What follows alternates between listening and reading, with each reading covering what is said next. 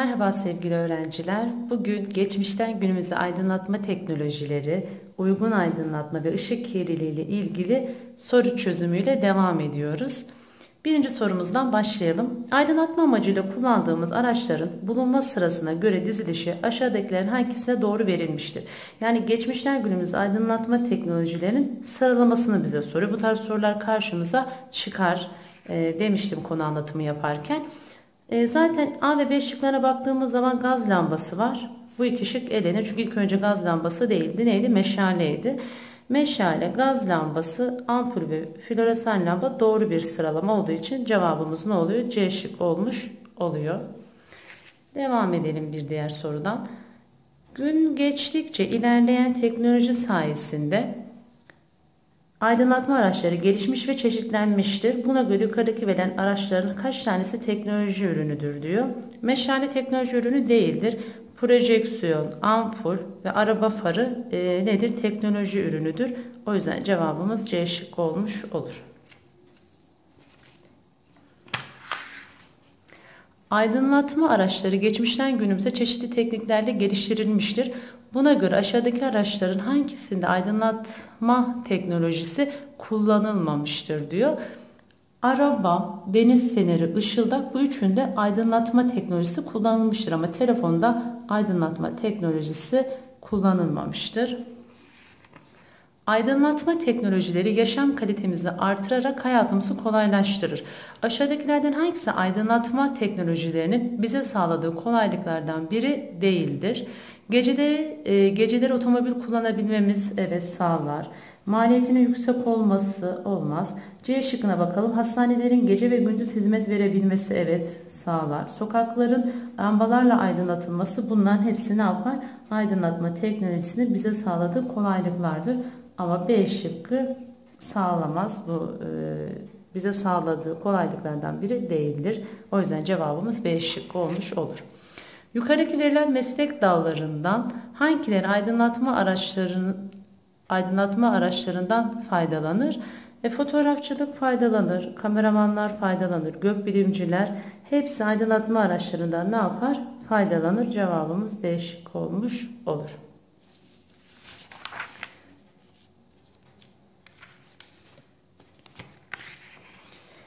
Tarih boyunca bilim insanları aydınlatma sorunlarını çözmek için düşünce üretmişler, araç ve teknikler geliştirmişlerdir. Ampulü icat ederek bu sürece önemli bir katkı sağlayan bilim insanı aşağıdakilerden hangisidir? Bunun cevabını hepinizin bildiğini düşünüyorum ve şu anda herkes cevabı söylüyordur. Cevabımız ne olacak? A şıkkı olacak. Thomas Edison e, ne yapmıştır? Ampulü icat eden bilim insanıdır. Ampulün içindeki çok ince bir tel bulunur ve bu telden geçen elektrik teli ısıtarak telin ışık yaymasını sağlar. Aşağıdaki araçlardan hangisinin çalışma prensibi ampulün çalışma prensibine benzemektedir? Mumun zaten böyle bir çalışma prensibi yok. Meşalenin de yok. Floresan lambanın çalışma prensibi de bu şekilde değil. Cevabımız A şık olacak. Elektrik sobası. Çünkü bu elektrik sobasındaki e, şu e, gördüğümüz e, cam boruların içerisinden de ince bir tel geçer ve e, bu e, çalışma prensibi yani ampulün çalışma prensibine benzer bir çalışma prensibi vardır.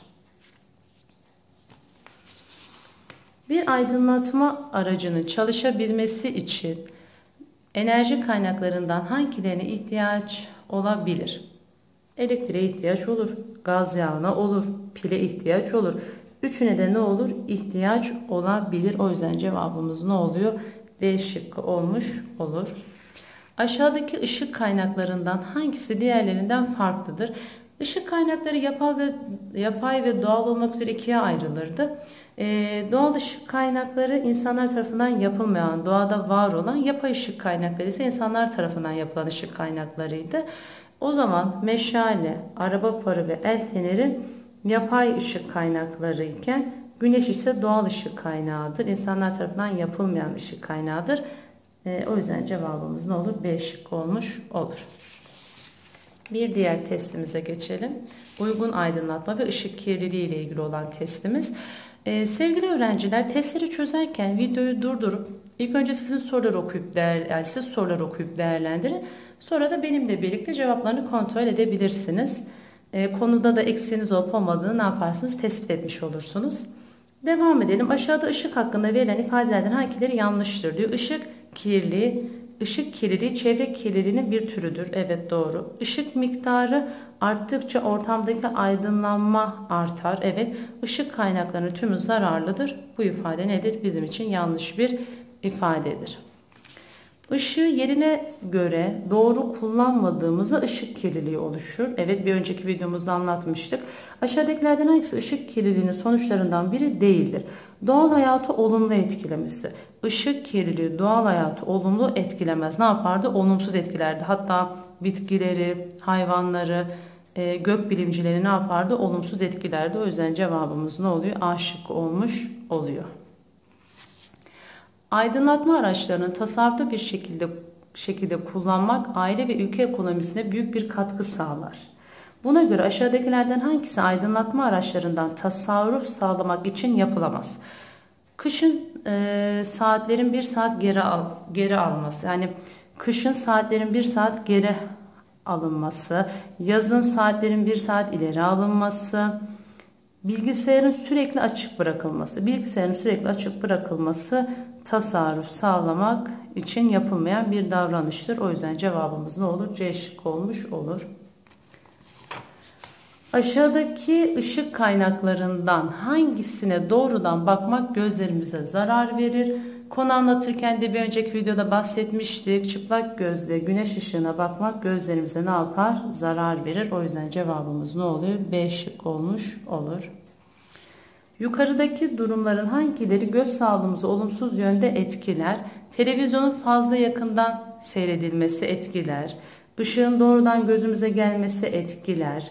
Mum ışığı altında ders çalışılması bir ortamda eğer e, ışık miktarının fazla olması ya da az olması gözümüzü ne yapar? Yorar. E, mum ışığının altında ders çalışmakta ışık miktarının az olduğu için gözümüzü ne yapar? Yorar. O yüzden hepsi ne yapar? E, olumsuz yönde etkiler göz sağlığımız. Aydınlatma araçlarının kullanımı ile ilgili aşağıdakilerden hangisi yanlıştır? Gereksiz yanan lambaları söndürmek doğru bir davranış. Güneş ışığı yeterli olduğu halde lambaları açık saklamak yani lambaları açmak bu aydınlatma araçlarının kullanımı ile ilgili doğru bir davranış değildir. Yanlış bir davranıştır. Uygun aydınlatma araçlarının tasarruflu kullanımı sonucunda ifadelerinde verilen durumlardan hangileri gerçekleşir diyor.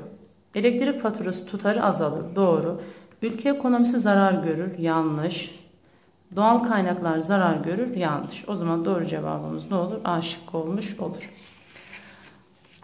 Aşağıda göçmen kuşlar ve ışık kirliliği ile ilgili bir haber bulunmaktadır. Buna göre aşağıdakilerden hangisi söylenemez diyor. Göçmen kuşlar tehlikeli. Işık kirliliği göçmen kuş göçmen kuşlar için ciddi tehlikeler oluşturuyor. Geceleri yıldızlardan faydalanarak yollarını bulan kuşlar şehir ışıklarını yıldız e, zannederek yollarını şaşırıyor. Bu şekilde birçok göçmen kuş yaşamını yitiriyor. E, bunu ışık kirliliğinde zaten anlatmıştık. Bakalım bu metinle ilgili aşağıdaki hangisi söylenemez diyor. Işık kirliliği bazı canlıların yaşamlarını tehlikeye sokmaktadır. Doğru. Işık kirliliği gök cisimlerinin gözlenmesini zorlaştırmaktadır. Evet. Bahsetmiştik. Işık kirliliği doğal hayatı olumsuz etkiler. Evet. Teknoloji ve şehirlerin gelişimiyle beraber gökyüzüne yayılan ışık miktarı gün geçtikçe azalmaktadır. Gün geçtikçe azalmaktadır değil artmaktadır. O yüzden nedir? E, bu ifadeyi biz söyleyemeyiz. Cevabımız ne olur? Değişik olmuş olur. Yukarıdaki verilen durumlardan hangileri ışık kirliliğine sebep olabilir? Yerleşim alanlarının büyümesi olabilir. Bilinçsizce yapılan dış aydınlatma olur. Park ve bahçelerin çoğalması, e, park ve bahçelerdeki aydınlatmaların da artacağı anlamına geliyordur bu park ve bahçelerin çoğalması. Bu da bir ışık kirliliğine sebep olabilir. O yüzden cevabımız ne olur? D şıkkı olmuş olur. Uygun aydınlatma ile ilgili aşağıdaki e, aşağıdakilerden hangisi yanlıştır? Ortam büyüklüğü uygun aydınlatma yani ortam büyüklüğüne uygun aydınlatma aracı kullanılmalıdır. Doğru eğer aydınlatacağınız ortam büyükse ona göre bir aydınlatma aracı tercih etmeniz gerekiyor. Sokak lambaları ışığı gökyüzüne dağıtacak şekilde yapılmalıdır. Gökyüzüne dağıtacak bir şekilde yapıldığı zaman ışık kirliliği olur.